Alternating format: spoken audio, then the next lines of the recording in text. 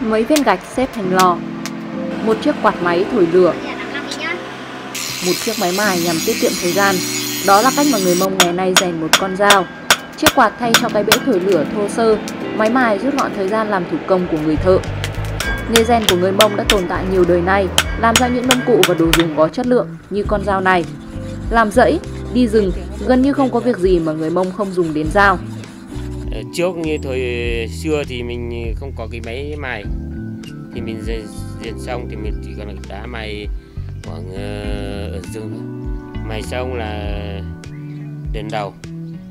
Thì mình mới đằng cán cán xong là mình ờ, cho vào lửa để thành thanh sắt nó đỏ lên là mình khi xưa người Mông rèn dao còn có thể đem ra chợ bán, nhưng ngày nay nhiều dụng cụ hiện đại đã được tung ra thị trường với giá rẻ hơn.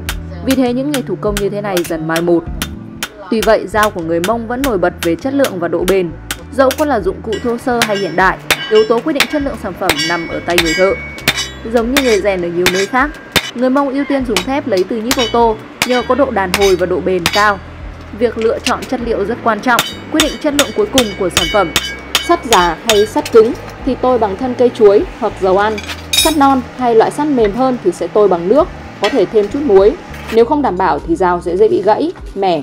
Ngoài ra người thợ lành nghề còn phải kiểm soát được than, lửa và các yếu tố xung quanh để đảm bảo quá trình rèn. Năm 2023, Phòng Văn hóa và Thông tin thành phố Điện Biên Phủ phối hợp với Ủy ban Nhân dân xã Mường Phăng để tổ chức các lớp tập huấn dạy nghề rèn thủ công truyền thống người Mông tại bản Lọng Hái. Anh Cứ A Dụ là một trong số ít các học viên. Học nghề rèn, anh càng thấy rõ hơn ý nghĩa của việc giữ nghề cũng như có kết nối sâu sắc hơn với dân tộc của chính mình. mà trước đang học thế thì ui rèn mình cần cũng cần không chắc mà mình rèn chỉ một hai tiếng là tay là bị lở hết. Rèn thì đôi lúc là thân sắt còn bay nhảy còn chạy. Tôi cũng cảm nhận được là rèn rau cũng là một cái truyền thống có ý nghĩa đối với dân tộc mà mông của chúng mình tôi cũng muốn giữ lại cái trên truyền thống rèn rau này để cho các con các cháu để à, biết và để cảm nhận được là rèn rau của dân tộc mình Là nghề rèn thứ hai tại Việt Nam được ghi danh vào danh sách di sản văn hóa phi vật thể cấp quốc gia.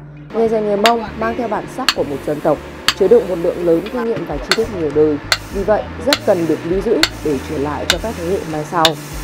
vừa cũng được sự quan tâm của ờ, các cấp các ngành thì ờ, thành phố cũng đã triển khai ờ, kế hoạch số 766 về tổ chức là tập huấn nghề rèn dao.